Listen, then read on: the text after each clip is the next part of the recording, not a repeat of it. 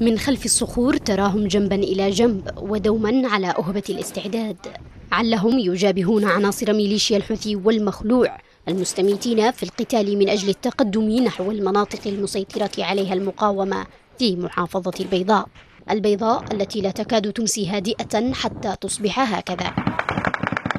ثلاث مديريات في البيضاء تشهد اشتباكات متواصلة تبلغ ذروتها في مديرية الزاهر. قصف مكثف بمختلف الأسلحة الثقيلة. تشنه الميليشيا على جبهات كساد والمسياب والغول وسوداء غراب. في المديرية كما لم تسلم من قصفها العشوائي أيضا. باقي المناطق كالأجردي والجماجم والحبج وفارعة في المديرية ذاتها.